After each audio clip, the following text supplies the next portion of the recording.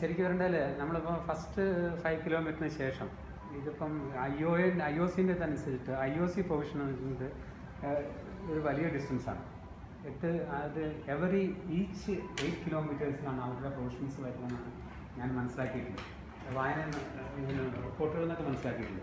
അതേസമയം അതാത് രാജ്യങ്ങൾക്ക് every two kilometres two two two point five കിലോമീറ്റേഴ്സിൽ അവരുടെ സ്റ്റോൾ വെക്കാം ബൂത്ത്. വെക്കാം ആ ബൂത്തിൽ ഡ്രിങ്ക്സ് വെക്കാം എനർജി ഡ്രിങ്ക്സ് ഡ്രിങ്ക്സ് വെക്കാം ഫ്രൂട്ട്സ് വെക്കാം വെള്ളം വെക്കാം എനി അതർ എനർജി. ഇത് വെക്കാം എന്നാണ് ഞാൻ മനസ്സിലാക്കുന്നത്. അങ്ങനെ അങ്ങനെയാണ്. അങ്ങനെയാണ്. അതാ അതാത് രാജ്യങ്ങളാണ് ചെയ്യുന്നത്. പക്ഷേ വേൾഡ് ചാമ്പ്യൻഷിപ്പ് അങ്ങനെ ആയിരുന്നില്ല. പിന്നെ വേൾഡ് ചാമ്പ്യൻഷിപ്പ് ഇന്ത്യ വെച്ചില്ലായിരുന്നു. ഇന്ത്യ വെള്ളമൊന്നും വെച്ചില്ലായിരുന്നു. പക്ഷെ ഞാൻ സംഘാടകരോടെ സംഘാടകര്- സംഘാടകര്. സംഘാടകരോട് ഒരുപാട് വെച്ചായിരുന്നു. അപ്പം ഞങ്ങൾക്ക് അതൊരു ബുദ്ധിമുട്ടായിട്ട് തോന്നിയില്ലായിരുന്നു. റിക്കവറി ഡ്രിങ്ക്സ് ആണെങ്കിലും അതുപോലെ ഫ്രൂട്ട്സ് ഞങ്ങളെല്ലാം കഴിച്ചോണ്ടായിരുന്നു ഓടിയത് ജ്യൂസ് എല്ലാം ഞാൻ സുധയും കൂടെ ഒന്നിച്ചായിരുന്നു. അപ്പം ഞങ്ങൾക്ക് ഞങ്ങളുടെ രാജ്യം വെച്ചിട്ടില്ല നമ്മൾ ഇന്ത്യ വെച്ചിട്ടില്ല നമ്മൾ പറഞ്ഞിട്ടില്ലായിരുന്നു. കാരണം ഞങ്ങൾക്ക് എക്സ്പീരിയൻസ് ഉണ്ടായിരുന്നു പക്ഷെ അവിടെ എല്ലാ രാജ്യക്കാരും പിന്നെ അവരുടെ വെള്ളം വെച്ചത് പോരാതെ ബീജിംഗിൽ ചൈന തന്നെ എല്ലാ അറേഞ്ച് ചെയ്തു. ഇവിടെ വെള്ളം വെള്ളവും അതും പ്രോപ്പർ വെള്ളം ഞങ്ങളുടെ ഓട്ടത്തിൽ. ഗേൾസിന്റെ ഓട്ടത്തിൽ പ്രോപ്പറായിട്ട് വെള്ളമില്ലായിരുന്നു പിന്നെ ബോയ്സിന്റെ ഓട്ടം ആകുമ്പോൾ ഒരുപാട് അത്ലറ്റുകൾ ഇപ്പം എത്രയോ അത്ലറ്റുകൾ ഓടിയിട്ട് വൺ സിക്സ്റ്റി ഫൈവ് അങ്ങനെ എത്രയോ അത്ലറ്റ് ഓടിയിട്ട് ഫിഫ്റ്റീൻ സിക്സ്റ്റീൻ അത്ലറ്റിന് സെയിം പ്രോബ്ലം ഉണ്ടായിരുന്നു. അവർ ഡ്രോപ്പ് ഔട്ട് ആയ ഒരവസ്ഥ വന്നായിരുന്നു. കാരണം ചൂട് തന്നെ. അപ്പൊ അതുകൊണ്ട് ഞങ്ങളെല്ലാവരും ഇൻഫോം ചെയ്തത് ഞങ്ങൾ ഞാൻ ഇവരോടൊക്കെ പറഞ്ഞായിരുന്നു പിന്നെ നിങ്ങൾ എന്തായിരുന്നു അവിടെ റിക്കവറി ഡ്രിങ്ക്സ് എന്താ വെച്ചാൽ നിങ്ങളുടെ വെള്ളം വെക്കണം എന്നുള്ള കാര്യം പറഞ്ഞിരുന്നു. കാരണം എന്റെ അവസ്ഥ കണ്ടപ്പോൾ തന്നെ എല്ലാവർക്കും മനസ്സിലായി ഇങ്ങനെയായിരിക്കുന്നു. നമ്മൾ ഡ്രിങ്ക്സ് നമ്മുടേതായിട്ടുള്ളത് വെക്കും. ഒരു രാജ്യത്തിന്റെതായിട്ടുള്ള ഡ്രിങ്ക്സ് വെക്കുമ്പോൾ അത് ഐ ഒ സിന്റെ പെർമിഷൻ വേണം. സംഘ- സംഘാടകനെ തലേ ദിവസം അവർക്ക് എട്ട് ബോട്ടിലാണ് ഒരാൾക്ക്. പെർമിറ്റ് ചെയ്യാം. നിങ്ങൾക്ക് രണ്ട് പേർക്കും കൂടെ പതിനാറ് ബോട്ടിൽ പെർമിറ്റ് ചെയ്തിട്ടുണ്ടായിരുന്നു എന്ന് വത്സൻ പറഞ്ഞു. നമ്മുടെ എഫ് ഐ സെക്രട്ടറി വത്സൻ അങ്ങനെയാണ് അപ്പോൾ രാധാകൃഷ്ണൻ നായർ നമ്മുടെ കോച്ചില്ലേ? കോച്ച്. രാധാകൃഷ്ണൻ നായരും ഏതോ ഒരു ഐ എ ഓഫീസിന്റെ ഇവിടെ തലേ ദിവസം മാരത്തോണിന്റെ തലേ ദിവസം ഞങ്ങൾ താമസിക്കുന്ന സ്ഥലത്ത് വരികയും ഇങ്ങനെ ഇതാ ഇത് ബോട്ടിൽ കൊണ്ട് നിങ്ങൾക്ക് ഏതാണ് ഡ്രിങ്ക് വേണ്ടതെന്ന് ചോദിക്കുകയും ചെയ്തു എന്ന് പറഞ്ഞില്ല. അത് ശരിയാണ്. ഇല്ല എന്നോട് ചോദിച്ചു ചോദിച്ചിട്ടില്ല. എന്തുകൊണ്ടെന്ന് വെച്ചാൽ അവിടെ ഉണ്ടായിരുന്ന എ എഫ് ഐയുടെ ഒരു മീറ്റിങ്ങും അത്ലറ്റിക്സ് അത്ലറ്റിക്സിന്റെ ഒരു മീറ്റിങ്ങും ഈ ഡോക്ടർ നിക്കോളായുടെ ഗ്രൂപ്പ് അതായത് ഞങ്ങൾ മൂന്ന് അത്ലറ്റുകളാണ് ആ മൂന്ന് അത്ലറ്റുകളും അറ്റൻഡ് ചെയ്തിട്ടില്ല. സത്യമാണ്. അതിന് അതിനൊരു സംശയമില്ല ഞങ്ങളെ ഒരു മീറ്റിംഗ് അറ്റൻഡ് ചെയ്യാനോ അല്ലെങ്കിൽ ഞങ്ങൾ ഞങ്ങളുടെ ഇപ്പോൾ വത്സൻ സാറിനോടോ അല്ലെങ്കിൽ ആദിൽ സാർ അങ്ങനെയുള്ളവരോടോ ഈ രാധാകൃഷ്ണൻ സാറോട് പോലും സാറിന്റെ കോച്ചായിരുന്നു അസംഷൻ കോളേജിൽ പഠിച്ചുകൊണ്ടിരിക്കുമ്പോൾ ആ സാറോട് പോലും ഞങ്ങൾക്ക് സംസാരിക്കാനുള്ള അവകാശമില്ല. അതാണ്. കാരണം ഓൺലി ഞങ്ങൾ ഡോക്ടർ നിക്കോളായി ഫ്രണ്ടിൽ പോകും ഞങ്ങൾ അവരുടെ പുറകിൽ നടന്നു അതാണ് റൂൾ ഞങ്ങളുടെ ലളിത ബാബർ സുധാ സിംഗ് ഞാൻ. മൂന്ന് അത്ലറ്റുകൾ ഞങ്ങളുടെ ഞങ്ങളുടെ കൂടെ ഇവരുടെ ഞാൻ മറ്റുള്ള അത്ലറ്റുകളായിരുന്നു പിന്നെ എന്റെ പേഴ്സണൽ ആയിട്ടായിരുന്നു അങ്ങനെയാണ്. അപ്പം ഞങ്ങൾക്ക് ഞങ്ങൾ ഞങ്ങൾ ഈ മൂന്ന് അത്ലറ്റുകൾ പോലും തമാമൻ സംസാരിക്കാൻ ഞങ്ങൾ സമ്മതിക്കില്ല. ഡോക്ടർ നിക്കോളായി നിങ്ങൾ ഉറങ്ങിക്കോളൂ. അയാളുടെ റൂൾ അതാണ്. പ്രാക്ടീസ് ചെയ്യുക കഴിക്കുക ഉറങ്ങുക. അത് മാത്രമേ ഉള്ളൂ. വേറെ ഞങ്ങളെ ഒരു സൗണ്ട് പോലും ഞങ്ങൾ പുറത്ത് കേൾക്കില്ല. അത്രയും ഡിസിപ്ലിനാണ് ഞങ്ങൾ ഇതുവരെ പ്രാക്ടീസ് ചെയ്തിട്ടുള്ളൂ. റിയോ ഒളിമ്പിക്സ് കഴിയുന്നത് വരെ ആ ദിവസം വരെ ഞങ്ങൾ ചെയ്തിട്ടില്ല ഇങ്ങനെയായിരുന്നു. അപ്പം ഞങ്ങൾക്ക് ഞാനൊരു മീറ്റിങ്ങിന് പോവോ അല്ലെങ്കിൽ മത്സരം സാറെ പേഴ്സണലായിട്ട് കാണുമോ രാധാകൃഷ്ണൻ സാറെ പേഴ്സണലായിട്ട് കാണുമോ ചെയ്തിട്ടില്ല. രാധാകൃഷ്ണൻ സാർ ഇന്നലെ എന്നോട് ഈ കാര്യം പറഞ്ഞിരുന്നു. നിങ്ങളവിടെ വന്നിട്ട് രാവിലെ ആറ് മണിക്ക് നിങ്ങൾ വന്നിട്ട് സ്ത്രീ ഡ്രസ്സ് റണ്ണിങ് കിറ്റ് വാങ്ങാൻ വന്ന സമയത്ത് ഞാൻ നിങ്ങളോട് ചോദിച്ചിരുന്നു. ഞങ്ങൾ അങ്ങനെ പോയിട്ടില്ല. റണ്ണിങ് കിറ്റ് ഞങ്ങളുടെ കോച്ച് റണ്ണിങ് കിറ്റും നമ്മളുടെ മറ്റേ ചെസ് നമ്പറും കോച്ചാണ് ഞങ്ങളുടെ റൂമിൽ കൊടുത്തിരുന്നത് ഞങ്ങളെല്ലാം പോയി വാങ്ങുന്നത്. മറ്റു താരങ്ങൾക്ക് അവരുടെ കോച്ച് ഫ്രീഡം കൊടുക്കുന്നുണ്ട് ഇവർക്കാണെങ്കിലും ലോങ് ഡിസ്റ്റൻസിന്റെ ബോയ്സിന്റെ ഗ്രൂപ്പിനാണെങ്കിലും ഞാൻ പിന്നെ ബാക്കി എല്ലാ ഗ്രൂപ്പിനും അവരുടെ ഫ്രീഡം ഉണ്ട്. കാരണം അവർക്ക് എല്ലാവർക്കും മീറ്റിങ്ങിന് പോകാം അവർ കോച്ചിന്റെ കൂടെ ഇരുന്ന് ഭക്ഷണം കഴിക്കണം അങ്ങനെയൊന്നുമില്ല. ഞങ്ങളെന്ന് പറഞ്ഞാൽ കോച്ച് എന്ത് പറയുന്നു അത് മാത്രമേ ഇവിടെ നടക്കുള്ളൂ. അത് ഫെഡറേഷൻ ആണെങ്കിലും അംഗീകരിക്കും സായി ആണെങ്കിലും അംഗീകരിക്കും. ഞങ്ങൾ ഇതിനെ അംഗീകരിക്കാതിരിക്കാൻ പറ്റില്ല. ഞങ്ങൾക്ക് പെർഫോമൻസ് വേണം ഞങ്ങൾക്ക് സ്പോർട്സ് ചെയ്യണം. അങ്ങനെ ഒരു കാര്യം കൊണ്ട് മാത്രം ഇങ്ങനെ സംഭവിക്കുന്നു അല്ലാതെ മറ്റുള്ള കോച്ചസ് ഒരിക്കലും ഇത്രത്തോളം ഒരു അത്ലറ്റിന് ഇത്രത്തോളം അടിച്ചമർത്തുന്ന രീതിയിൽ ഒരിക്കലും ചെയ്യാറില്ല. അപ്പോൾ ശരിക്കും പറഞ്ഞാൽ ഒരു ഒരു ഡിക്റ്റേറ്റർഷിപ്പിന്റെ ലൈനിലാണ് നിങ്ങൾക്ക് നിങ്ങളായിട്ടുള്ള ചോയ്സ് ഒന്നുമില്ല. ഇല്ല ഒന്നുമില്ല. കോച്ച് എന്ത് പറയുന്നത് മാത്രം എന്നുള്ളതാണ്. അപ്പോൾ ഗോപിയുടെ കേസ് അങ്ങനെ തന്നെയാണ്. അല്ല. ഇല്ല ഞങ്ങൾക്ക് അത്ര ഈ നിക്കോള ചെയ്യുന്ന പോലെ ഇത്ര ടൈറ്റ് ഞങ്ങൾക്കില്ല. ഞങ്ങൾ ഫ്രീഡം തന്നെ ഉണ്ട്. എല്ലാം ഫ്രീ ആയിട്ട് എടുക്കുക ഗ്രൗണ്ടിൽ പുള്ളി വര- തരുന്ന വർക്കൗട്ട് ചെയ്യുക. പിന്നെ റൂമിൽ റെസ്റ്റ് എടുക്കുക ബാക്കി കാര്യങ്ങളൊക്കെ നോർമൽ ഡിസ്കഷൻ പോയിന്റ് ഇപ്പം നിങ്ങൾക്ക് രാധാകൃഷ്ണൻ സാർ നമ്മുടെ കൊച്ചാൻ അവിടെ നമ്മുടെ ഓഫീസിലുണ്ട്? പിന്നെ മറ്റ് സുരേന്ദ്ര സിംഗ് നിങ്ങളുടെ കോച്ചാണ്. കോച്ചാണ്. ഇപ്പൊ ഇവരുമായിട്ട് ഡിസ്കസ് ചെയ്യാനോ അവരുടെ ഏതെങ്കിലും തരത്തിലുള്ള അഡ്വൈസ് കേൾക്കാനോ ഒന്നോ നമുക്ക് ബുദ്ധിമുട്ട് ഉണ്ടായിട്ടില്ല. ഉണ്ടായിട്ടില്ല ഇവരെ സംബന്ധിച്ചിടത്തോളം ഒരിക്കലും മറ്റൊരു ഇതുമായിട്ട് പരിശീലകനായിട്ട് കോച്ചുമായിട്ട് സ്റ്റുഡന്റ് ഞങ്ങളിപ്പോൾ മൂന്ന് പേരെ പ്രാക്ടീസ് ചെയ്യുന്നത് കൂടെ. ഞങ്ങൾ തമാമിൽ പോലും സംസാരിക്കാനുള്ള അവകാശമില്ല. അതായത് ഞങ്ങൾ എന്ന് പറഞ്ഞാൽ ഞങ്ങളുടെ എല്ലാവർക്കും അറിയുന്ന കാര്യമായി. ഇപ്പം പിന്നെ ഇത് ഞാൻ പറയേണ്ട ആവശ്യമില്ല. ഇതിപ്പം ഞാൻ പറഞ്ഞു കഴിഞ്ഞാൽ ഇത് ന്യൂസ് ആയി കഴിഞ്ഞാലും ഇത് ഫെഡറേഷനും സായിലും ഈ ലോകത്തിലെ എല്ലാവർക്കും അറിയുന്ന കാര്യമാണ്. ഞങ്ങൾ മൂന്ന് അത്ലറ്റുകൾ ആകെ മൂന്ന് അത്ലറ്റുകളും ഞങ്ങൾക്ക് തമാമിൽ പോലും ഞങ്ങളുടെ ദുഃഖങ്ങളും സങ്കടങ്ങളും അല്ലെങ്കിൽ ഞങ്ങളുടെ പ്രാക്ടീസിനെ കുറിച്ചൊന്നും ഷെയർ ചെയ്യാൻ സമ്മതിക്കില്ല. അതാണ് ശരിക്കും ഞങ്ങൾ മെന്റലി ഇത്രയും ഡിസ്റ്റർബ് ആയിരുന്നു എല്ലാ കാര്യങ്ങളിലും. ഇത്രയും ഹാർഡ് വർക്ക് ചെയ്തു ഇതൊക്കെ ചെയ്ത് ഞങ്ങൾ രാവിലെ മൂന്നരയ്ക്ക് എഴുന്നേറ്റ് പ്രാക്ടീസ് ചെയ്യുന്ന അത്ലറ്റാണ് ഞാൻ ഞങ്ങളെ മൂന്ന് ഈ ഗ്രൂപ്പ് മൂന്ന് അത്ലറ്റിൽ മൂന്നരയ്ക്ക് ഞങ്ങൾ പ്രാക്ടീസ് ചെയ്യാൻ തുടങ്ങിക്കഴിഞ്ഞാൽ ഞങ്ങൾ ആറ് മണി ആറര ആകുമ്പോൾ തിരിച്ചു വരും തിരിച്ചിരുന്നു ഏറ്റവും അല്ല ഇവർ പ്രാക്ടീസ് തുടങ്ങുന്ന ബോയ്സിന്റെ ഗ്രൂപ്പ് പ്രാക്ടീസ് തുടങ്ങുമ്പോൾ ഞങ്ങൾ തിരിച്ചു വരും. കാരണം വെച്ചാൽ ഞങ്ങളൊരു വെയിലത്ത് പ്രാക്ടീസ് ചെയ്തിട്ട് ഞങ്ങൾക്ക് ശീലമില്ല. രാവിലെയും ഇല്ല വൈകിട്ടും ഇല്ല ശരിക്കും ഞങ്ങളുടെ ക്ലൈമറ്റിനെ അഡ്ജസ്റ്റ് ചെയ്തിട്ടായിരുന്നു പ്രാക്ടീസ് ചെയ്യേണ്ടത്. കാരണം ഞാൻ ഒളിമ്പിക്സിന് പോയിട്ടുണ്ടാവും. വേൾഡ് ചാമ്പ്യൻഷിപ്പ് ഞാൻ മാരത്തോൺ പാർട്ടിസിപ്പേറ്റ് ചെയ്യുന്നത് എന്നാലും ഞാൻ പറയുന്നത് ഇന്നൊരു മാരത്തോൺ ഒന്നുമില്ല. പക്ഷേ എന്റെ ഈവന്റും എന്റെ ക്വാളിറ്റിയും ആ കോച്ച് കോച്ച് പറയുന്നത് തന്നെ അനുസരിക്കണം എന്നുള്ളൊരു ലെവലിലേക്ക് എന്നെ കൊണ്ടുവന്നിരുന്നു അപ്പം എനിക്ക് എന്റെ ഈ ഒരു ഈവന്റ് സെലക്ട് ചെയ്യാനുള്ള അധികാരം പോലും ശരിക്കും ശരിക്കും ഞാൻ ഇപ്പം ജേഷ പറഞ്ഞ യുവ ഫോഴ്സിബിളി അല്ലേ? നിർബന്ധപൂർവം ഈ ഈ ആ ഈവന്റിൽ മത്സരിക്കേണ്ടി വന്നത് ഇപ്പം എന്തൊക്കെ പറഞ്ഞു കഴിഞ്ഞാലും ഇപ്പം കഴിഞ്ഞ വേൾഡ് ചാമ്പ്യൻഷിപ്പ് ബീജിംഗ് വേൾഡ് ചാമ്പ്യൻഷിപ്പിൽ ഇപ്പം അവിടുത്തെ സൗകര്യങ്ങളൊക്കെ നല്ലതാണ്. ജേഷയുടെ ലൈഫിൽ ഏറ്റവും മികച്ച പെർഫോമൻസ് വന്നു. എത്ര രണ്ട്?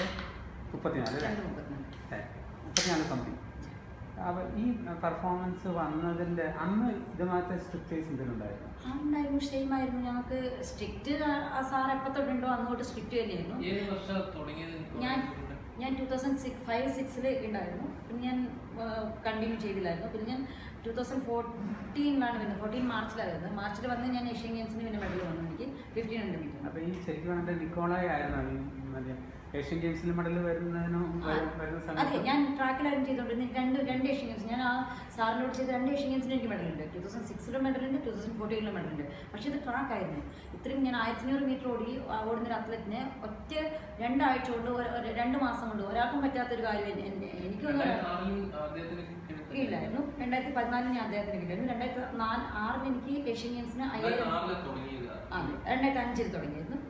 രണ്ടായിരത്തി ആറിന് എനിക്ക് ഏഷ്യൻ ഗെയിംസിന് അയ്യായിരം മീറ്ററിലും രണ്ടായിരത്തി പതിനാലിന് എനിക്ക് ആയിരത്തി അഞ്ഞൂറ് മീറ്ററിലും മെഡൽ രണ്ടായിരത്തി പതിനാല് Asian Games August August September കഴിഞ്ഞ് ഞാൻ ഒക്ടോബർ ഒരു മാസം ഫുൾ ലീവ് എടുത്ത് ഡിസ് ജനുവരി ആകുമ്പോൾ അതായത് നവംബർ പതി പതിനഞ്ച് ഞങ്ങൾ ക്യാമ്പ് കൊടുക്കുന്നത് അപ്പോൾ തുടങ്ങിയിട്ട് ആ രണ്ട് മാസം കൊണ്ട് ഞാൻ ഓക്കെ നാൽപ്പത്തിരണ്ട് kilometre two thirty six thirty seven race ചെയ്തായിരുന്നു.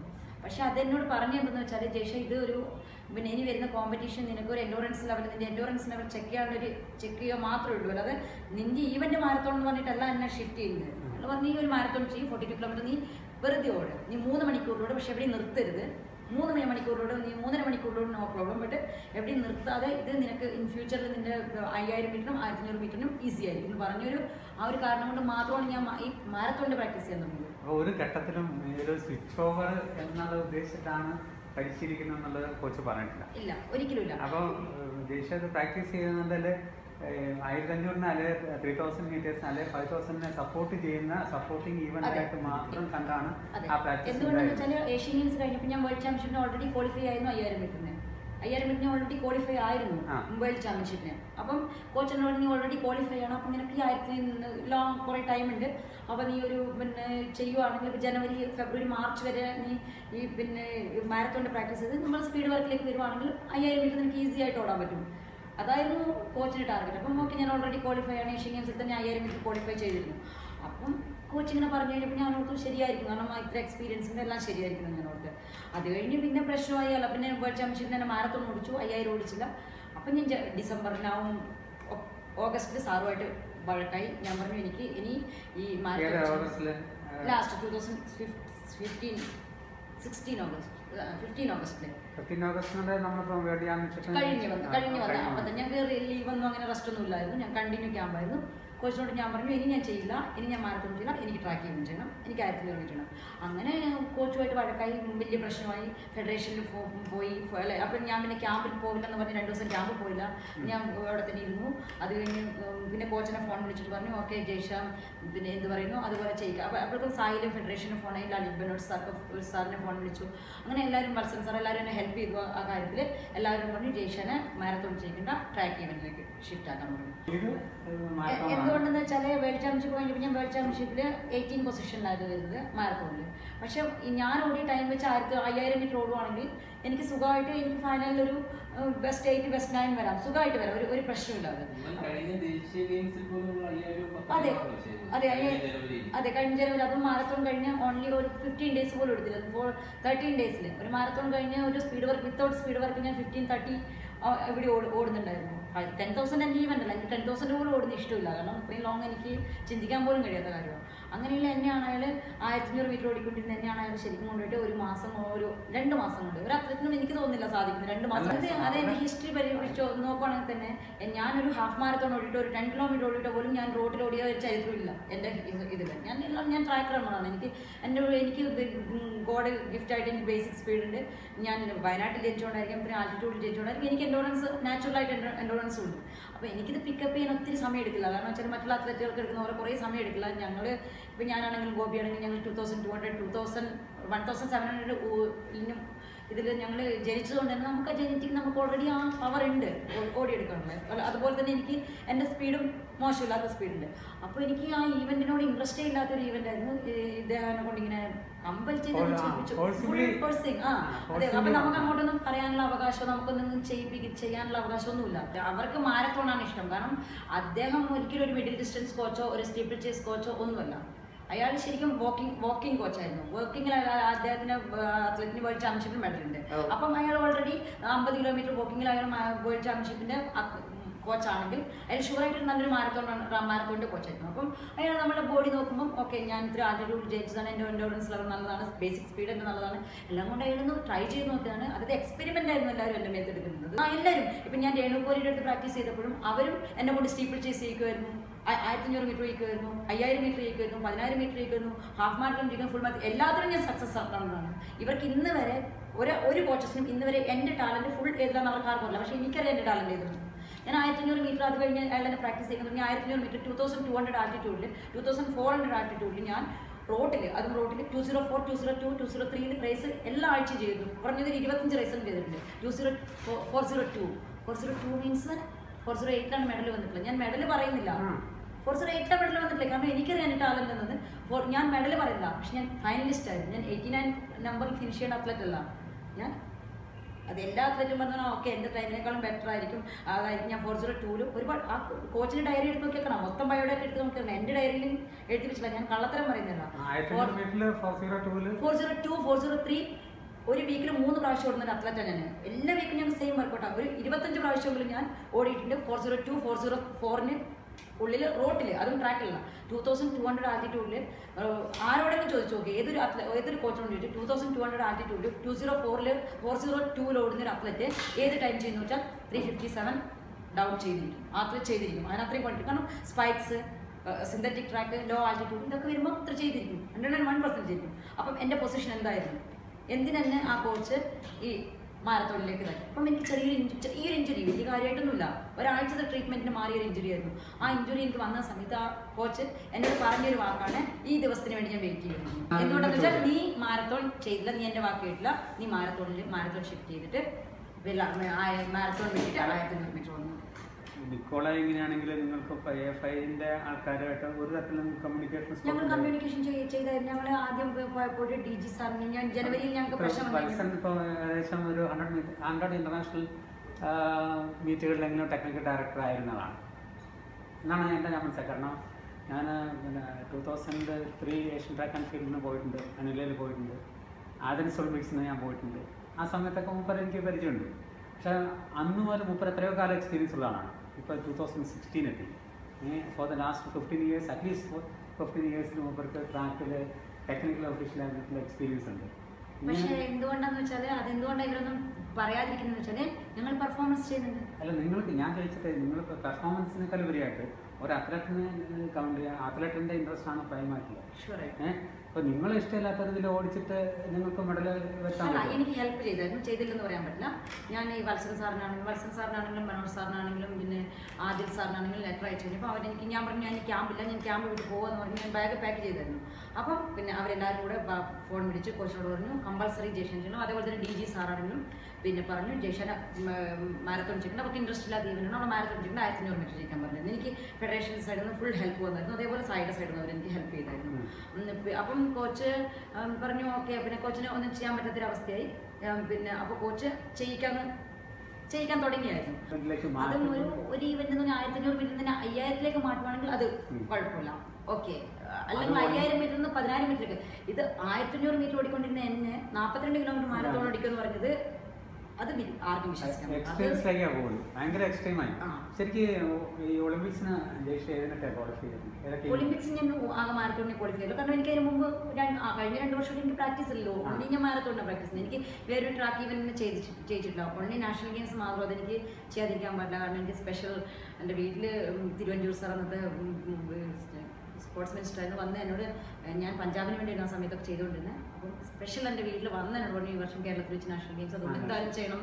കമ്പൾസറി പറഞ്ഞതുകൊണ്ട് മാത്രം നാഷണൽ ഗെയിംസ് അതിനുശേഷം ഞാൻ ഒരു നാഷണൽ മീറ്റും ചെയ്തിട്ടില്ലായിരുന്നു പക്ഷെ എനിക്ക് ഒരു കാര്യം വേണ്ടി ഞാൻ എന്റെ ബെസ്റ്റ് പെർഫോമൻസിനെ അവിടെ ചെയ്തത്. കാരണം വെച്ചാൽ എന്റെ കോമ്പറ്റീഷൻ ശേഷം എനിക്ക് ഒരു മീറ്റർ പോലും എഴുന്നേറ്റ് പോകാനുള്ള ഒരു കപ്പാസിറ്റി ഇല്ലായിരുന്നു. കാരണം എല്ലാ അത്ലറ്റും പറയുന്ന പോലെ ഓൾ ഔട്ട് ഓൾ ഔട്ട് ആവുമെന്ന് പറഞ്ഞാൽ ഞാൻ മുന്നേ ഒരു ഞാൻ ട്വന്റി ഫൈവ് കിലോമീറ്റർ കഴിഞ്ഞപ്പോൾ തന്നെ എനിക്ക് എനിക്ക് എന്റെ ബോഡി കണ്ടീഷൻ ഭയങ്കര മോശമായിരുന്നു. ഒരു പക്ഷേ ഞാൻ ഒരു പ്രൈസ് കോമ്പറ്റീഷന് വേണ്ടി അത് ഓടിയതിന് ഞാൻ മുന്നേ നിന്ന്. പോയി ഇപ്പം എനിക്ക് ഒരു കോടി രൂപ തരാൻ നീ ഫിനിഷ് ചെയ്യുമെന്ന് പറഞ്ഞാൽ ഞാൻ ഫിനിഷ് ചെയ്തായിരുന്നു എന്റെ ബോഡി കണ്ടീഷൻ ആ ലാസ്റ്റ് തേർട്ടി തേർട്ടി കിലോമീറ്റർ ശേഷമുള്ള ട്വൽവ് കിലോമീറ്റർ എനിക്ക് പറയാൻ പറ്റാത്ത അവസ്ഥയായിരുന്നു. പക്ഷേ ഇതെന്റെ രാജ്യത്തിന് വേണ്ടിയായിരുന്നു അവിടെ ഓടുന്നത്. കാരണം ഒളിമ്പിക്സാണ് എന്റെ ഞാനെവിടെയും അവിടെ നിന്ന് പോയിട്ടുണ്ടെങ്കിൽ അതിന് അതൊരു വലിയൊരിതായിരുന്നു അപ്പം എന്റെ ജീവിതത്തിൽ ഞാൻ ഓടിയിട്ടുള്ള ലൈഫിൽ ഈ എന്റെ പതിനഞ്ച് വർഷം പതിനാല് വർഷത്തെ എന്റെ എക്സ്പീരിയൻസിൽ എന്റെ ലൈഫിൽ ഏറ്റവും ടൈം ഒന്നും വന്നില്ലായിരിക്കും. പക്ഷെ എന്റെ ലൈഫിൽ ഏറ്റവും ബെസ്റ്റ് പെർഫോമൻസാണ് ഞാൻ ചെയ്തത് കാരണം ഫിനിഷിന് ശേഷം പിന്നെ ഞാൻ ഇല്ലായിരുന്നു അവിടെ. After two two hour two and half hour കഴിഞ്ഞപ്പം എന്റെ കോച്ച് വന്ന് എന്റെ പൾസ് ചെക്ക് ചെയ്ത് കഴിഞ്ഞപ്പം എന്റെ ശരീരത്തിൽ പൾസ് പൾസ് ഇല്ലായിരുന്നു. പൾസ് റേറ്റ് കോച്ചിന് കിട്ടിയില്ല. എന്റെ ബോഡി മുഴുവൻ ഇതായിരുന്നു. കോച്ച് എല്ലാവർക്കും റിപ്പോർട്ട് ചെയ്ത് ജയ്ഷ മരിച്ചു എന്നായിരുന്നു. ആ. രാധാകൃഷ്ണൻ സാറിനോട് അങ്ങനെ വിളിച്ചു പറഞ്ഞു ജയിച്ച മരിച്ചു. പിന്നെയാണ് രാധാകൃഷ്ണൻ സാർ വരുന്നത്. ഞാൻ എന്റെ കോച്ചാ രാധാകൃഷ്ണൻ സാറ് എന്നെ ചങ്ങനാശ്ശേരി അസംഷൻ കോളേജിൽ ഞങ്ങൾ ഞാൻ പഠിച്ചുകൊണ്ടിരിക്കുന്ന സാർ അവിടെ ത്രോസിന്റെ കോച്ചായിരുന്നു. അപ്പം ചങ്ങ അസംഷൻ കോളേജിൽ അപ്പോൾ സാറാണ് കാരണം എന്താ വെച്ചാൽ അവർ ഡോക്ടേഴ്സ് എനിക്കെല്ലാം കേൾക്കായിരുന്നു പക്ഷെ എനിക്ക് എന്റെ ബോഡി ഒന്നും ആവുന്നില്ലായിരുന്നു. കാരണം എനിക്ക് കണ്ണു ഉറക്കാനോ എനിക്ക് സംസാരിക്കാനൊന്നും പറ്റുന്നില്ല പക്ഷെ എനിക്കെല്ലാം കേൾക്കാൻ പറ്റുന്നില്ല അദ്ദേഹം സംസാരിക്കുന്ന രീതിയും അങ്ങനെയാണ് കാരണം നമ്മളോട് തന്നെ അത്ലറ്റുകളോടാണെങ്കിലും അയാൾ ഭയങ്കര മോശമായിട്ടുള്ള ലെവലിലാണ് ഷൗട്ട് ചെയ്യുന്നത് ഭയങ്കര ഞാനൊക്കെ വഴക്കുണ്ടാക്കി കഴിയുമ്പോൾ ഞാൻ ഒരുപാട് പ്രാവശ്യം പറഞ്ഞു ലേഡീസിനോട് സംസാരിക്കുന്നത് എങ്ങനെയാണ്? ഞങ്ങളെ ഇന്ത്യയ്ക്ക് അങ്ങനെ ഒരു കൾച്ചർ ഇല്ല. ലേഡീസിനെ വഴക്ക് പറയുക അല്ലെങ്കിൽ അങ്ങനെ ഒരു കൾച്ചർ ഇല്ല. അപ്പം ലേഡീസിനോട് മാനേഴ്സ് സംസാരിക്കാൻ ഞാൻ പറഞ്ഞിട്ടുണ്ട് അദ്ദേഹത്തിനോട്. അതൊക്കെയാണ് എന്നോട് അയാൾക്ക് ദേഷ്യം ശരിക്കും. ഈ ആയിരത്തി അഞ്ഞൂറ് മീറ്ററിന് പ്രശ്നം വന്നു കഴിഞ്ഞപ്പോൾ അയാൾ എന്നോട് ഒത്തിരി മോശമായിട്ട് ഒരുപാട് മോശമായിട്ട് സംസാരിച്ചിരുന്നു. ഒച്ച ഭയങ്കര സൗണ്ടില്ല അപ്പം എന്റെ അച്ഛനും എന്റെ അമ്മയും എന്നോട് ഇത്രയും സൗണ്ടിൽ സംസാരിക്കാറില്ല. പക്ഷേ ഞാൻ കറക്റ്റായിട്ട് മറുപടി കൊടുക്കുമായിരുന്നു. എനിക്ക് എനിക്ക് ആരെയും പേടിക്കേണ്ട ആവശ്യമില്ല. കാരണം എന്താ വെച്ചാൽ നമുക്ക് പെർഫോമൻസ് ഉണ്ടെങ്കിൽ മാത്രമേ നമുക്ക് നിലനിൽക്കുള്ളൂ. ഇല്ലെങ്കിൽ നമ്മൾ ആരും പിന്നെ ബാംഗ്ലൂർ വന്നിട്ട് വലിയ പ്രശ്നമായി. അറിയാലോ നമ്മുടെ പ്രശ്നം. അതെന്താന്ന് വെച്ചാൽ അത് ഞാനൊരു വിവാദമാക്കാൻ വേണ്ടിയിട്ടോ അങ്ങനെ ഒരു പ്രശ്നമായിരുന്നില്ല. ഞാനിവിടെ എത്തിക്കഴിഞ്ഞപ്പോൾ എന്നോടൊരു മാധ്യമ പ്രവർത്തകരുടെ ക്വസ്റ്റൻ ആയിരുന്നു. എല്ലാ സ്ഥലങ്ങളിലും എല്ലാം ഏത് കോമ്പറ്റീഷൻ പോയിട്ടുണ്ടെങ്കിലും ബെസ്റ്റ് പെർഫോമൻസ് ചെയ്യുന്ന ജയിഷയ്ക്ക് ഇവിടെ എന്ത് പറ്റിയെന്ന് എന്നോട് ചോദ്യം ഉണ്ടായിരുന്നു. അപ്പം ഞാൻ ചോദ്യം ഞാൻ അതിനുള്ള ആൻസർ അവിടെ വെള്ളമില്ലായിരുന്നു. കാരണം റിയോയിൽ എനിക്ക് വേണ്ടത്ര എത്രത്തോളം വെള്ളം വേണമായിരുന്നു അത്രത്തോളം വെള്ളം അവിടെ കിട്ടിയില്ല. അതുകൊണ്ടാണ് എനിക്കിങ്ങനെ പ്രശ്നം വന്നത്. അപ്പം ആഫ്റ്റർ കോമ്പറ്റീഷൻ ഇങ്ങനെ ഇങ്ങനെ സംഭവിച്ചു. പിന്നെ ഞാൻ അവിടെ വീണ് പോയായിരുന്നു. അത് കഴിഞ്ഞ് ക്ലിനിക്കിലേക്ക് മാറ്റി അവിടെ നിന്ന് എനിക്കിങ്ങനെ seven bottle glucose three bottle sodium ഇതൊക്കെ വിത്തിൻ ത്രീ അവറിൽ ഇടേണ്ടി വന്നു. ഞാൻ മൂന്ന് മണിക്കൂർ എനിക്ക് ബോധമില്ലാത്ത അവസ്ഥയായിരുന്നു. ഇതൊക്കെ ഞാൻ അവിടെ പറഞ്ഞു. അങ്ങനെയായിരുന്നു ഇത് പറഞ്ഞു അപ്പം അവരെന്നോട് അടുത്ത ക്വസ്റ്റ്യൻ ചോദിച്ചു. പിന്നെ ജയ്ഷയ്ക്ക് പിന്നെ ആ ഇന്ത്യയുടെ ബൂത്തുകളിൽ എല്ലാ രാജ്യക്കാരും വെച്ച ഇത് ഇന്ത്യയുടെ ടേബിളിൽ വെള്ളം ഉണ്ടായിരുന്നു എന്ന് ചോദിച്ചു. അപ്പം ഞാൻ എവിടെയും വെള്ളം ഇല്ലായിരുന്നു. നമ്മുടെ ടേബിളിൽ മാത്രം വെള്ളമില്ല നമ്മുടെ ടേബിളിൽ ഒരു ഫ്ലാഗ് ഇല്ല? ഇന്ത്യ എഴുതിയിട്ടില്ല? വെള്ളം വെക്കണമെങ്കിൽ പ്രയർ പെർമിഷൻ ഇപ്പൊ തലേ ദിവസം ഇപ്പോൾ രാധാകൃഷ്ണൻ സാറിന് ബോട്ടിലായിട്ട് വന്നു പറയല്ലോ അപ്പോൾ നിങ്ങൾ ഇറക്കിയിട്ടുണ്ട് എന്നാണ് ഡിസൈഡ് പറയണം. പറഞ്ഞിട്ട് അത് ഫില്ല് ചെയ്ത് നിങ്ങൾ സൈൻ ചെയ്യണം എൻഡോസ് ചെയ്യണം. നിങ്ങളുടെ കോച്ച് എൻഡോസ് ചെയ്യണം. എൻഡോസ് ചെയ്തിട്ട് നിങ്ങളുടെ എന്നിട്ട് ഉം, ഇവർക്ക് ഐ ഒ സിന്റെ ഒഫീഷ്യൽസിന് ഹാൻഡ് ഓവർ ചെയ്യും ഇപ്പോഴായി പറഞ്ഞു ജയിച്ച വെള്ളം വേണ്ടാതെ പറഞ്ഞാണ് വെള്ളം കൊട്ടായിരുന്നു ഒരിക്കലുമല്ല. ഞാൻ അങ്ങനെ ഒരു മീറ്റിങ്ങിന് പോയിട്ടില്ല. ഡോക്ടർ നിക്കോളായി എന്നോട് ഒരു പ്രാവശ്യം പോലും ചോദിച്ചിട്ടില്ല വെള്ളത്തിന് ആവശ്യമുണ്ടോ. ഇവരുടെ കോച്ച് കുറച്ച് ഇവരുടെ കോച്ചിന് അറിയാം ഫീലിങ്സ് കാരണം എന്ന് വെച്ചാൽ ആ കോച്ച് ലൈഫിൽ പ്രാക്ടിക്കലായിട്ട് ചെയ്തൊരു വ്യക്തിയാണ്. അയ്യായിരം അല്ല ഒരിക്കലും അയാൾ ഒരു അത്ലറ്റ് ആയിരുന്നില്ല. അയാൾ പഠിച്ചതും അയാൾ കമ്പ്യൂട്ടറിൽ നോക്കി പഠിച്ച വിവരം മാത്രമേ ഉള്ളൂ. അദ്ദേഹത്തിന് അദ്ദേഹം ചിലപ്പോൾ വേൾഡ് ചാമ്പ്യന്റെ കോച്ചായിരിക്കാം അല്ലെങ്കിൽ ഒളിമ്പിക്സ് മെഡലിസ്റ്റിന്റെ കോച്ചായിരിക്കാം. പക്ഷേ പ്രാക്ടിക്കൽ പ്രാക്ടിക്കലാണ്. ഇപ്പം ഒരുപാട് പേര് എനിക്കെതിരായിട്ട് ഇങ്ങനെ പറയുന്നുണ്ട് അവിടെ വെള്ളമില്ലായിരുന്നു അതെങ്ങനെയല്ല അങ്ങനെയല്ല എന്നൊക്കെ ഒരുപാട് പേര് പറയുന്നു പക്ഷേ അവർ ജീവിതത്തിൽ ഒരിക്കലും സ്പോർട്സ് ചെയ്തിട്ടില്ല. അതുകൊണ്ടാണ് അങ്ങനെ പറയുന്നത്. കാരണം അവിടെ അനുഭവിച്ച ഞാൻ മാത്രമാണ്.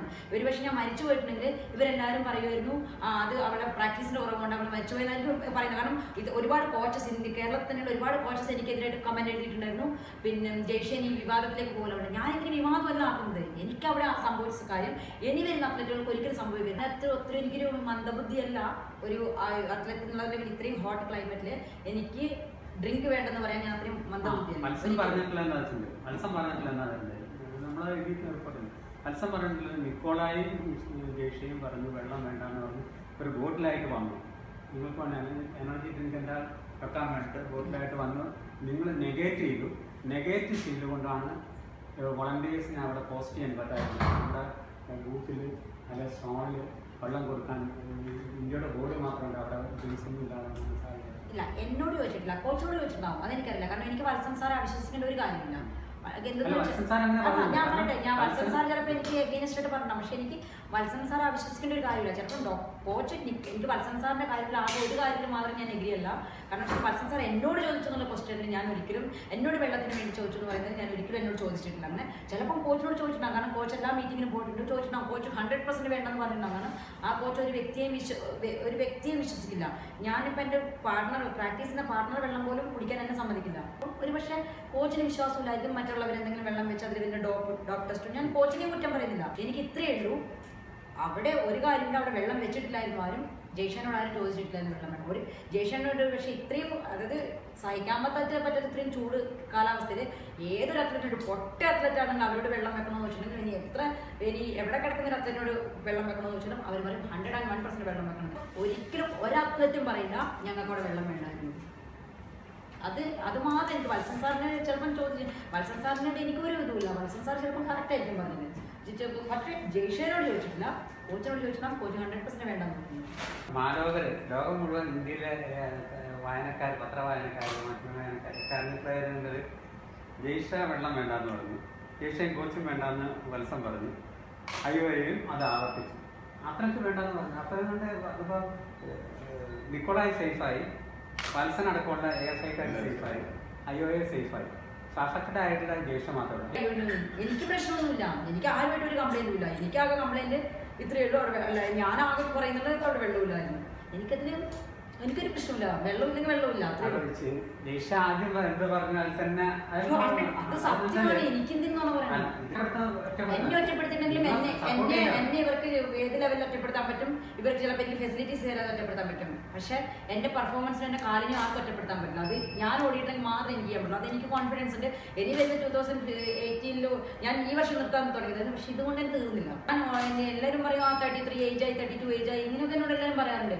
പക്ഷെ ഞാൻ ഞാൻ ഓർക്കും ഞാൻ നിർത്തി നിർത്താൻ പോയി ഇതെന്റെ ഒളിമ്പിക്സ് ലാസ്റ്റ് ഇവരോട് എല്ലാവരും ഞാൻ പറഞ്ഞു എന്റെ ഒളിമ്പിക്സ് ലാസ്റ്റ് ടൈം ഞാൻ ചെയ്യണം. പക്ഷേ ഇനി എനിക്ക് ചെയ്തേ പറ്റുമോ കാരണം എന്താ വെച്ചാൽ എന്താ സത്യം? എനിക്ക് എനിക്ക് സത്യമൊന്നും ആയി ബോധിപ്പിക്കുന്നുണ്ട് സത്യമൊക്കെ ദൈവം കാണുന്നുണ്ട്. പിന്നെ അതുപോലെ ഞാൻ സ്പോർട്സ് നിർത്താനൊന്നും പോകുന്നില്ല. ഞാൻ ചെയ്ത് കാണിച്ചു കൊടുക്കും. എനിക്ക് രണ്ടായിരത്തി പതിനെട്ട് പതിനേഴ് ഏഷ്യൻ ട്രാക്ക് ആൻഡ് ഫീൽഡ് ഉണ്ട് ഏഷ്യൻ വേൾഡ് ചാമ്പ്യൻഷിപ്പ് ഉണ്ട് കോമൺവെൽത്ത് ഗെയിംസ് ഉണ്ട്. എനിക്ക് കോൺഫിഡൻസ് ഉണ്ട് എനിക്ക് മെഡൽ വരുന്നു അതായത് ഇവരെനിക്ക് ചിലപ്പോൾ ക്യാമ്പ് തരില്ലായിരിക്കും അല്ലെങ്കിൽ നിങ്ങൾ അങ്ങനെയൊക്കെ സംഭവിച്ചാലും എനിക്ക് പ്രശ്നമൊന്നുമില്ല. ഞാൻ സ്വന്തം എന്റെ റിസ്കിൽ പ്രാക്ടീസ് ചെയ്യും.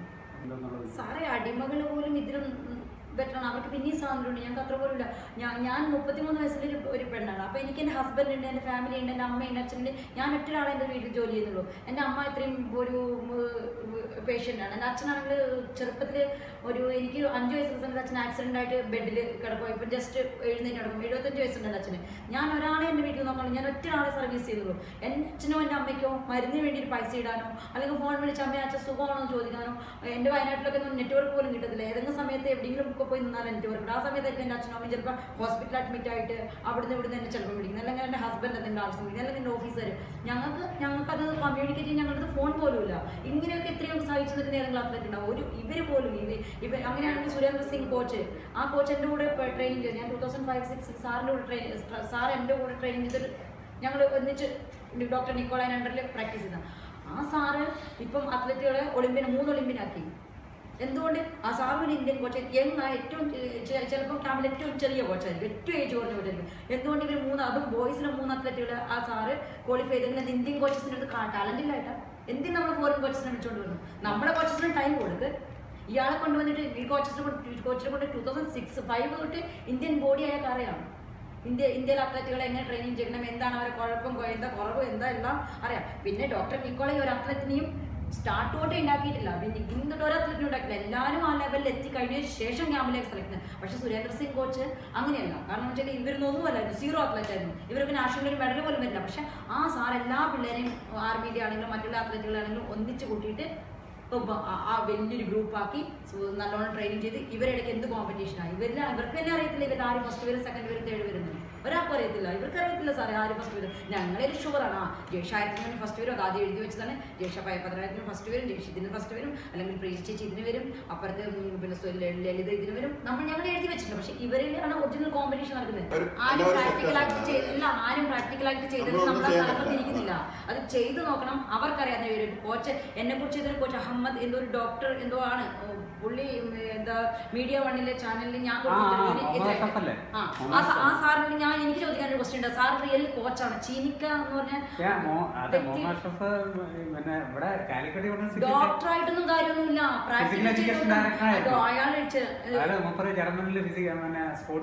എന്ത് മെഡിസിൻ ആയാലും എന്ത് സാർ എന്ത് സ്പോർട്സ് മെഡിസിന്റെ അല്ല ഇനി എന്ത് മനുഷ്യനാണെങ്കിലും ആ സാറ് നാൽപ്പത്തിരണ്ട് കിലോമീറ്റർ ഓടി നോക്കിയാലേ ആ പുള്ളി ആ സാറിന് അറിയത്തുള്ളൂ. ഇപ്പൊ ജമ്പ് ചെയ്യുന്നവർക്ക് പോലും ഓരോ ജമ്പിന് ശേഷം വെള്ളം കൊടുക്കുന്നുണ്ട്. നാൽപ്പത്തിരണ്ട് കിലോമീറ്റർ ഓടുന്ന ഒരു അത്ലറ്റ് ഒരു പക്ഷേ ഞാൻ മരിച്ചു വീട്ടിൽ അദ്ദേഹം സന്തോഷിക്കുന്നു എനിക്ക് തോന്നുന്നത് എനിക്ക് എനിക്ക് തോന്നുന്നു ആ സാറിന് ഒരു സ്പോർട്സിൽ ഒരു വിവരമില്ല ഡോക്ടറേറ്റ് എങ്ങനെ കിട്ടിയെന്ന് എനിക്കറിയില്ല. ഞാൻ ഇത് ഓപ്പണായിട്ട് എഴുതിക്കും? എനിക്കൊരു പ്രശ്നമില്ല ഞാൻ സീരിയസ് ആയിട്ട് പറയാം. കാരണം ആ ഒരു അത്ലറ്റ് എന്നുള്ള ലെവലിൽ ഒരു അത്ലറ്റ് മരിക്കാൻ കിടക്കുക രണ്ടര മണിക്കൂറിന് ശേഷം ആ അത്ലറ്റിന്റെ ബോഡിയിൽ പൾസ് റേറ്റ് ഇല്ല. പൾസ് റേറ്റ് കാണാതെ മരിച്ചു എന്നാണ് എല്ലാവരും പറയുന്നത്. രാധാകൃഷ്ണൻ സാറോട് പറയുന്നത് മരിച്ചു എന്നാണ് അങ്ങനെ ഒരു അത്ലറ്റിന്റെ അവസ്ഥയ്ക്ക് ഈ സാറ് ചെയ്ത കമന്റ് എന്ന് പറഞ്ഞാൽ ഒരിക്കലും ഒരു ഒരു ഒരു സ്പോർട്സുകാരനും ഒരു ഒരു ഒരു വ്യക്തിക്കും അംഗീകരിക്കാൻ പറ്റാത്തൊരു കമന്റ് അപ്പം ഇങ്ങനെയൊക്കെ ഉള്ള ആൾക്കാരാണ് നമ്മളെ മുകളിൽ കോച്ചസ് ആയിട്ടും ഫെഡറേ മറ്റുള്ള സ്ഥലത്ത് ഇതിൽ ഇരിക്കുന്നതെങ്കിൽ ഇന്ത്യയുടെ ഗതി ഇത് തന്നെയായിരിക്കും. ഒരിക്കലും മെഡൽ വരില്ല. ഞാൻ ഷുവർ ആയിട്ട് പറയും. ഇതോട് ഇതോടുകൂടി ഇല്ല ഞാൻ നിർത്തുന്നില്ല എനിക്ക്. ഒരുപാട് കോച്ചസ് ഉണ്ട് ഇന്ത്യയിൽ ആ. ഇല്ല ഞാൻ ഞാൻ പ്രൈം മിനിസ്റ്റർ കളക്ടർ ആയിട്ടും എന്റെ കാര്യത്തിന് കറക്റ്റായിട്ട് സാങ്ഷൻ ആയിട്ടില്ല. നമ്മുടെ പ്രൈം മിനിസ്റ്റർ നല്ല പ്രൈം മിനിസ്റ്റർ എനിക്ക് അതിലൊരു ഡൗട്ടും ഇല്ല. കാരണം എന്താ വെച്ചാൽ സ്പോർട്സുകാർക്ക് വേണ്ടി ഇത്രയും ഹെൽപ്പ് ചെയ്യുന്ന ഒരു പ്രൈം മിനിസ്റ്റർ ഞാൻ എന്റെ ലൈഫിലെ ഫിഫ്റ്റീൻ ഇയർ ഞാൻ സ്പോർട്സ് ചെയ്തിട്ടുണ്ട്. ഫിഫ്റ്റീൻ ഇയറിൽ പിന്നെ ഒരു ഫിഫ്റ്റീനില്ല ഞാൻ ട്വൽവ് ഇയർ എന്റെ എന്റെ ലൈഫിലെ ട്വൽവ് ഇയർ എനിക്ക് ഞാൻ ഒരു ഒരു ഏത് പ്രൈം ഇത് ചെയ്തിട്ടുണ്ടോ ഇതിലും ഞങ്ങൾക്ക് ഇത്രയും ഹെൽപ്പ് പോകുന്ന ഒരു പ്രൈം മിനിസ്റ്റർ ഇല്ലായിരുന്നു. റിയാലിറ്റി. കാരണം വെച്ചാൽ ഞങ്ങൾ സ്പോർട്സിന്റെ ഒത്തിരി എനിക്ക് വേണ്ട ഫെസിലിറ്റീസ് ഇവിടെ തരുന്നില്ലെങ്കിൽ ഞാൻ പ്രൈം മിനിസ്റ്റർ ലെവലിൽ പോകും. എന്തുകൊണ്ട് ഞാൻ ക്വാളിഫൈഡ് അല്ല? എനിക്ക് ഞാൻ ഞാൻ ഷുവർ എഴുതി കൊടുക്കും ഞാൻ ഏഷ്യൻ ഗെയിംസിന് മെഡൽ വരും കാരണം എനിക്ക് കോൺഫിഡൻസ് ഉണ്ട്. കാരണം എനിക്ക് ചെയ്യാൻ പറ്റും. ഞാൻ ചെയ്ത് ഓൾറെഡി ഞാൻ ചെയ്തിരിക്കുന്നതാണ്. Four zero two four zero three ഞാൻ റണ്ണിങ് ചെയ്ത അത്ലറ്റിന് ഷുവറായിട്ടും ടു ത്രീ ഫിഫ്റ്റി സിക്സിലും ഓടാൻ ഇത്ര വലിയ ബുദ്ധിമുട്ടില്ല. അതെന്റെ ലൈഫിലെ ഡ്രീമാണ് എന്റെ ജീവിതത്തിൽ ഞാൻ അന്ന് മരിച്ചോട്ടെ ഞാൻ നാല് മിനിറ്റ് താത്തി ഓടുവാണെങ്കിൽ. എന്റെ എന്റെ ലൈഫിലെ ഡ്രീമാണ് കാരണം ഞാൻ ഞാൻ സ്നേഹിക്കുന്നത് ഇതിലെയല്ല ഞാൻ സ്നേഹിക്കുന്നത് എന്നോട് പറയുമായിരുന്നു കോച്ച് പറയുന്നു മാരത്തോൺ ഓടിക്കഴിഞ്ഞാൽ നിങ്ങൾക്ക് അവിടുന്ന് പൈസ കിട്ടും നിങ്ങൾക്ക് ഇവിടുന്ന് പൈസ കിട്ടും. ബെസ്റ്റ് ട്വന്റിയിൽ വേൾഡ് ചാമ്പ്യൻഷിപ്പിനോ ഒളിമ്പിക്സിനോ വന്നു കഴിഞ്ഞാൽ നമുക്ക് അപ്പിയറൻസ് മണിയായിട്ട് നമ്മൾ ഓരോരുത്തരും വേറെ കൺട്രിക്കാർ വിളിക്കും നിങ്ങൾ ജസ്റ്റ് പോയി പാർട്ടിസിപ്പേറ്റ് ചെയ്താൽ മതി നിങ്ങൾക്ക് അവിടുന്ന് പൈസ ഉണ്ടാക്കാം ഇവിടുന്ന് പൈസ ഉണ്ടാക്കാം. എനിക്ക് പൈസ ആവശ്യമില്ല ഞാൻ പൈസയ്ക്ക് വേണ്ടിയിട്ടല്ല ഓടുന്നത്. ഞാൻ എന്റെ സാറ്റിസ്ഫാക്ഷന് വേണ്ടി മാത്രം ഓടുന്നത്. ഞാൻ ലൈഫിൽ ഇങ്ങനെ എത്ര ആഗ്രഹിക്കുന്നു ഞാൻ നല്ലൊരു പെർഫോമൻസ് ചെയ്യുക എല്ലാവരും ആ ജയിച്ചു ഒന്ന് ചെയ്തെന്ന് പറയുന്നത് ഞാനൊരു മാരത്തോൺ ഒരിക്കലും അറിയപ്പെടാനോ ഒരു പൈസ എനിക്ക് അല്ലെങ്കിൽ മാരത്തോൺ ഇഷ്ടംപോലെ പൈസ കിട്ടും. എനിക്ക് പൈസ വേണ്ട. എനിക്ക് എന്റെ ഇവന്റ് ചെയ്യുക. കാരണം എന്നിൽ എന്ത് ക്വാളിറ്റി ഉണ്ടോ ആ ഇവന്റ് ചെയ്യുക. ആയിട്ടും. അതെ ആയിരത്തി അഞ്ഞൂറ് മാത്രമല്ല ആയിരത്തി അഞ്ഞൂറ് അയ്യായിരം കൂടെ എടുത്താലേ എനിക്ക് ആയിരത്തി അഞ്ഞൂറ് മീറ്റർ ശരിക്കും ഒരു രണ്ട് ഇവന്റ് കോൺസെൻട്രേറ്റ് ചെയ്താലായിരിക്കും ഒരു ഇവന്റ് നല്ലോണം ചെയ്യാൻ പറ്റും. കാരണം ആയിരത്തി അഞ്ഞൂറിന്റെ ഒരു ഇതാണ് അയ്യായിരം. അങ്ങനെ ഞാനൊരു പരിശീലകനെ അങ്ങനെ ഒന്നും ഇതായിട്ടില്ല. പിന്നെ എനിക്കൊരു സാറുണ്ട്. എന്റെ എന്റെ ഇഷ്ടമുള്ള ഒരു സാറുണ്ട് ഞാൻ ഇതുവരെ ആരോടും പറഞ്ഞിട്ടില്ല ഇങ്ങനെ സായിലാണെങ്കിലും ഫെഡറേഷനിൽ എവിടെയും അതിനെക്കുറിച്ച് ചിന്തിച്ചിട്ടില്ലായിരുന്നു. പക്ഷേ ഞാൻ ഞാൻ നമ്മുടെ പണ്ട് ഷൈനി ഷൈനി വിൽസൺ ചേച്ചിയുടെ കോച്ച് ഹർഗോവിന്ദ് സിംഗ് സാറ് നമ്മുടെ നമ്മളുടെ ബഹദൂർ പ്രസാദ് അങ്ങനെയുള്ള ഇപ്പോഴും നാഷണൽ റെക്കോർഡൊക്കെ ഫൈവ് തൗസൻഡ് ഫിഫ്റ്റി ഹൺഡ്രഡ് മീറ്ററിന് അപ്പോൾ എനിക്ക് തോന്നുന്നു ഇന്ത്യയിലെ ഏറ്റവും ബെസ്റ്റ് കോച്ച് എനിക്ക് കിട്ടാൻ വെച്ചിട്ടുള്ള വെച്ച് ഏറ്റവും ബെസ്റ്റ് കോച്ച് കാരണം എന്താ വെച്ചാൽ ഞാൻ സാറിനോട് പ്രാക്ടീസ് പ്രാക്ടീസ് ചെയ്തിട്ടുണ്ട് ടൂ തൗസൻഡ് ട്വൽവിൽ അല്ല സാർ ഇവിടെ ഇല്ല സാർ യു എസ് എല്ലാം ഹർഗോവിന്ദ് സിംഗ് സാർ. ആ. സാറിന്റെ കോച്ച് ഷൈനി ചേച്ചിയുടെ കോച്ച്. അപ്പം പിന്നെ അവർ പിന്നെ ആ കോച്ച് ഇപ്പം യു എസ് ഉള്ളത്. ഞാൻ സാറുമായിട്ട് എപ്പോഴും കോൺടാക്ട് ചെയ്യുന്ന അപ്പം സാറിനോട് പറഞ്ഞു കുഴപ്പമില്ല. ജയിക്കാൻ ഞാൻ താല്പര്യമുണ്ടെങ്കിൽ പിന്നെ ഒന്നെങ്കിൽ ഫെഡറേഷൻ ചിലപ്പോൾ ഇവിടെ വരുമായിരിക്കും. ഇല്ലെങ്കിൽ ഞാൻ യു എസ് എ പോയിട്ട് എനിക്ക് ചെയ്തേ പറ്റൂ. എനിക്ക് വേറെ എന്റെ അടുത്ത് വേറെ ഓപ്ഷൻ ഇല്ല. അതുകൊണ്ട് എനിക്ക് പിന്നെ സാറിന്റെ അടുത്ത് പോകും സാറിന് അങ്ങനെ സാറ് പിന്നെ എന്റെ അടുത്ത് അവിടെ ബെസ്റ്റ് ട്രെയിനിങ് ആയിരിക്കും. പിന്നെ എനിക്ക് യു എസ് എയിലാണെങ്കിൽ കുറച്ചുകൂടെ നല്ല ഫെസിലിറ്റീസും കിട്ടും. എനിക്ക് പെട്ടെന്ന്